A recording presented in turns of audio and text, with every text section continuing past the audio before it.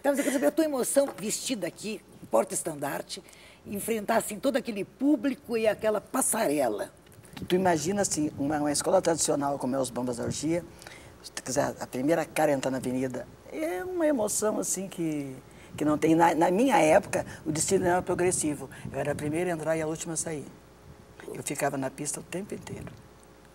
Tempo inteiro. E o ano que eu desfilei Sempre, grávida. sempre dançando. Sempre dançando. E o ano que eu desfilei grávida da minha filha, da minha filha do meio, eu teve uma. Eu não ensaiei porque eu tinha tonturas, e aí o meu braço adormeceu. Eu disse, eu vou derrubar o estandarte. Eu fui para trás um carro alegórico, a diretoria tirou, massagearam meu braço, eu voltei, ninguém viu e ganhei o estandarte de ouro. são coisas, são truques que a gente tem. Era aquela coisa que tu está percebendo também.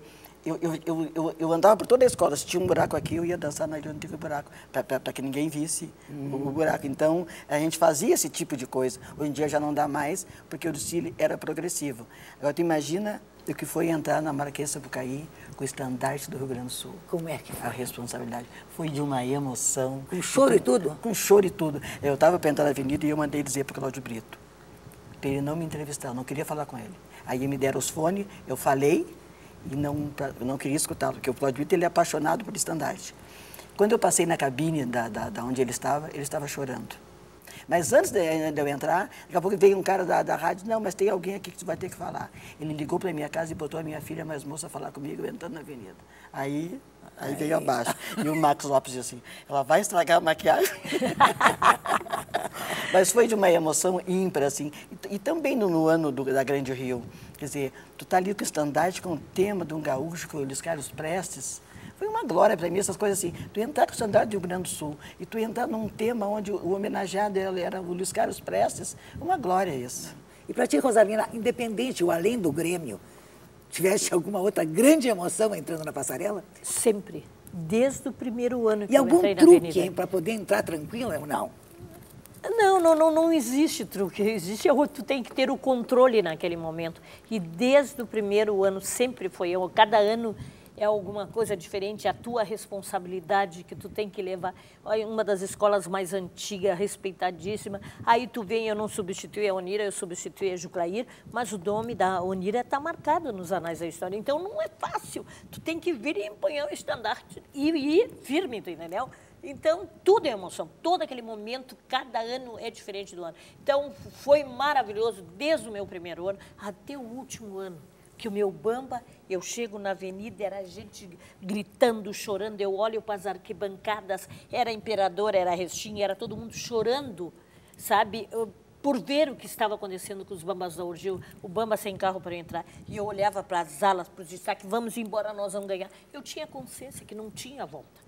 Eu tinha consciência que ali não estava derrotado. Mas eu me empenhei, me levantei, me empinei e fui. Vamos embora. Mas eu tenho noção do que, que era aquilo. A emoção, tu tem que te controlar para não chorar, porque tu tinha uma massa atrás de ti para levar. Tinha uma massa chorando e gritando por ti pela tua escola. Não era fácil. Me arrepia até hoje no falar. Aquele momento ali foi terrível, terrível, sabe? E, e- e tu terminou. É, é ano a ano. E Cada foi ano. fácil abdicar desse posto, desse, Não. dessa glória? Não, não foi fácil. Uma coisa assim, no ano que ela, que ela, que ela, que ela- quando ela passou para o primeiro estandarte da escola, ela foi escolhida por mim. Porque o presidente da escola botou uma outra porta-estandarte. No ano seguinte, eles queriam que eu voltasse. Eu disse que não, que não iria dançar. Aí queria que eu saísse de bandeira. Eu disse, não, não vou sair não, só porta-bandeira. Aí disse, então me arranja a porta-bandeira. Eu disse, eu te deixei uma porta-bandeira, uma porta-estandarte pronta, que era ela, e que eles não tinham colocado ela. Quer dizer, era o destino dela. Daí ela veio ele conversou com ela, ela foi porta-estandarte, e essa porta-estandarte, por muitos anos, dirigiu essa escola por muitos anos, já estava escrito que tinha que ser ela. E aí, né, então, aquela emoção do meu último ano, que era uma emoção de felicidade tu carregar teu estandarte, mas não, ao mesmo tempo era muito triste. Muito triste ver a nação azul e branco naquele estado. Graças a Deus, passou o bambi é que nem bolo, quanto mais tu bate, Mas mais eu cresce. perguntei como é que foi a despedida, como é que Aham. foi a decisão de, bom, vai ser E a aí, última vez. e, ah, quando eu saí da avenida, ali mesmo, já a imprensa falando, vai sair o presidente, vai dar isso, vai dar aquilo, e a imprensa vendo em mim, eu disse, não, eu não estou preparada, blá, blá, blá, não é assim, me pegaram assim, falando, né? Aí, com o passar do tempo, eu, como era presidente do conselho, automaticamente eu ficaria os 30 dias no mandato tampão. Ela aí, foi tirada do- da, na- na- da avenida para assumir a direção. ela- Sim, porque eu ela era presidente do conselho, estatutariamente, 30 dias ficaria para o meu comando a escola, no fato que aconteceu, o presidente tinha saído.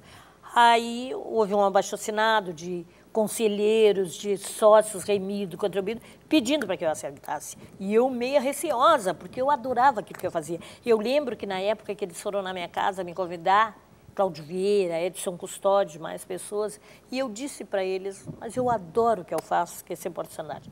Aí dizia o Cláudio Vieira, uma raposa velha, que eu digo com muito respeito, dizia ele Que assim, felizmente cortou o distintivo do Grêmio. este cidadão, Ah, isso aí, que é o cidadão. cidadão iluminado? É, o cidadão iluminado. Aí ele disse, mas nós tivemos um outro presidente que ele era, na época, era solista e presidente da escola. Aí estávamos, mas eu vi que não, não conseguiria administrar as duas coisas, porque ser presidente de uma escola de samba não é fácil. E sabia que tinha uma pessoa em condições, que era a Chayane. Uma pessoa da nossa Essa eu confiança. Era uma, era uma menina que a gente achou ali na, na bateria dos Bamba, uma menina bela, bonita, responsável. Eu disse, é ela, nós vamos, é o momento dela. Chamei ela um dia na secretaria, conversamos, Chayane, é o teu momento, chegou a hora. E ela olhou firme, bem guria, né? Vamos, está hoje. Hoje aí está aí, onde entra, é a cara dos Bambas da orgia. E a tua decisão, em agora não vou mais ser porta-estandarte, foi, foi complicado ou não? Não, eu não queria mais dançar com porta-estandarte. É uma coisa que todo mundo perguntou, porque na época eu tinha 32 anos, ainda tinha muito tempo pela frente. Mas eu não. É uma coisa assim, eu acho que tudo na vida a gente tem que saber a hora de parar. Quer dizer, eu tinha outras coisas para fazer, não ser estar só dançando o estandarte. Mas eu queria voltar atrás do que a Rosalina estava dizendo quando o Bampa caiu, que não tinha nenhum carro alegórico. A águia veio. Naquele momento, a águia foi ela, porque ela entrou na avenida como se tivesse todos os carros alegóricos atrás. Essa menina que é a, a, hoje a porta-estandarte, nem o estandarte chegou às mãos dela, ela desfilou sem estandarte. E aparece na filmagem ela entrando e a lágrima correndo aqui. E eu estou vendo as lágrimas correndo dos teus olhos agora. É. É. Bom, nós vamos continuar falando em carnaval, falando na escola, falando no Bambas, no próximo segmento, tá certo? Nós continuamos conjugando verbos na primeira pessoa com Rosalina Conceição e Onira Pereira. Os contatos com a nossa produção podem ser feitos pelo nosso endereço eletrônico, primeira pessoa, arroba, tve.com.br. Ou então nos procurem lá no Facebook, primeira pessoa. Bom, eu quero saber de vocês agora outras coisas. Por exemplo, tu estás fazendo roupas para destaque. Tu te queixaste do peso que tu carregaste com algumas roupas. Tu tens a preocupação de fazer mais leves as roupas? Tenho, tenho preocupação. Inclusive as saias de filó que existem hoje, que são muito mais leves, eu fui a primeira a desfilar na avenida com uma saia de filó. Porque no, com o tempo a gente vai vendo o que, que é mais fácil. Era aqueles panos engomados e realmente era muito pesado, né? Então eu tenho sempre preocupação quando eu faço roupa de estandarte. Já a porta-bandeira não tem saída porque é lâmina, até a lâmina sustenta maior, maior peso. Uh, até para que não, não, não... Eu tenho essa preocupação do peso. Agora mesmo eu estou fazendo a fantasia da segunda estandarte do Estado-Maior da Restinga e de uma outra menina que é da Vila Isabel, que é uma menininha que é, que, é, que, é, que, é, que é infantil. Eu não faço mais fantasia, hoje eu só gosto de fazer roupa de show. Mas essas aí, tem umas, tem umas que tu abraça, né? É. então, eu tenho esse tipo de preocupação, principalmente da saia. Eu, eu tenho, como eu fui em destaque, e é, às vezes quem faz, se tu nunca dançou, tu não tem ideia que é que eu me preocupo com o sapato, com tudo que elas estão usando. Eu me lembro que o Pompilho, como o brinco era muito pesado, ele amarrou o brinco na minha orelha. Ai, que horror! Era amarrado. Rasgou a orelha. Não, então eu tenho esse tipo de preocupação, assim, de fazer o e mais só leve quem possível. foi, quem desempenhou É, a função é que ideia. sabe. Tu tem que cuidar do nylon numa fantasia, nos bambados, tu tem que cuidar de um sapato com fivela. Tudo isso é coisa que tu No tem meu que ter. último ano eu usava uma sandália que tinha uma fivelinha e, a- e os babados tinham um fio de nylon. E aquilo foi enrolando. 84. As minhas pernas ficaram assim amarradas. Que horror. E E aí, eu consegui desfilar sem cair. Eu não sei como é que eu consegui chegar até o fim. aliás, tu tem um santo forte, né? Tenho, eu sou, filha, eu sou disseste- filha de Bará, que é vermelho. Ah, tá, e de repente, assim, tu tens premonições, porque lá tu disseste, eu não vou desfilar numa carroça. Lá no começo. Vão- E aqui tu disseste para ela, essa menina né, vai dar certo. Sim. É, Essa aquela- menina é ela. Ela. Mas é aquela- aquelas coisas assim que a gente que a gente vê que tem coisas assim, às vezes tu vê dançar. Sabe qual é a minha maior alegria quando eu vejo um destaque nascer? Quando tu começa a ensinar alguém, assim. Tem essa menina que é a segunda oportunidade da Restinga. Às vezes as pessoas... Maravilhosa. Maravilhosa. E, e, e, às vezes as escolas não, não, não, não se preocupam em dar valor a quem é da comunidade. Quer buscar quem já tem, já tem títulos. Aí eu olhei aquela menina dançar, essa menina tem futuro. Aí eu falei assim, ó, tem que vestir melhor essa menina que ela é boa.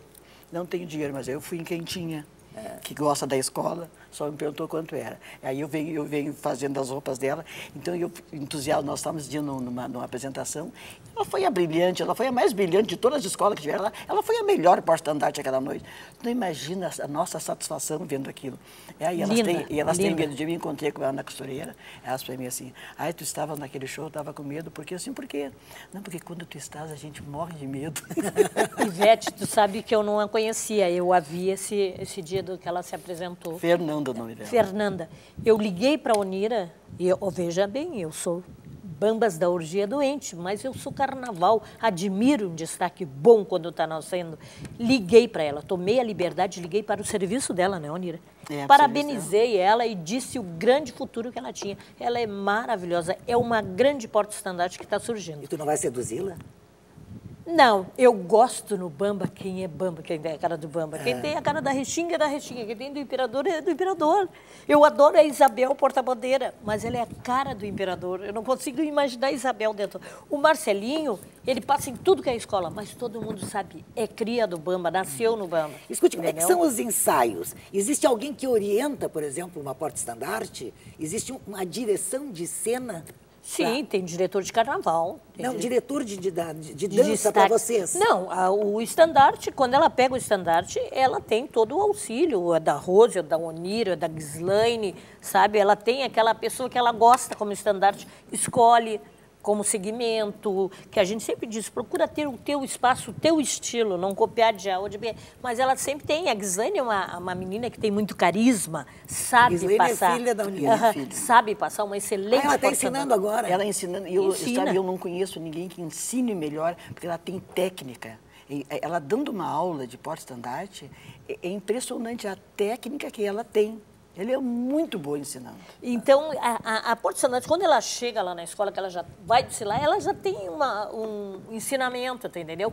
Aí, administrar o, o, grupo show é o diretor de carnaval. E a Gislaine estava dando aula para uma menina que era porta-estandarte dos Mambas da Orgia. Ah... E assim como eu já ensinei várias que saiu da, daquele grupo, Onira, bandeira. ele sa, ela saiu do grupo da UDESC, da UDESCA não, do eles têm é, o grupo que a Gisane ensinou, que essa menina saiu. Quem? A, aquela que estava no, Bamba. no Bamba. É. Não, não Ela fez lá no curso da Ana Marilda, que a Gisane estava ensinando. Lá na, na, na, na, na Academia Mudança. Academia Mudança. Então, sabe, tem a, a, e a Unida, plana que a, escolhe Unida. Como é que acontece a preparação disso durante todo o ano? Vocês ensaiam sempre? Os 365 dias do ano, tudo. Tu não termina um carnaval, tu já está preparando um outro. É porta-estandarte, é destaque, é harmonia, é bateria, tudo, tudo, tudo, tudo tem preparação. Todo o tempo temos diretor de carnaval, temos responsável pelas alas, o carnavalesco, tudo, tudo, tudo, tudo. O tema, tu não termina um tema, tu já está programando o próximo tema do ano seguinte.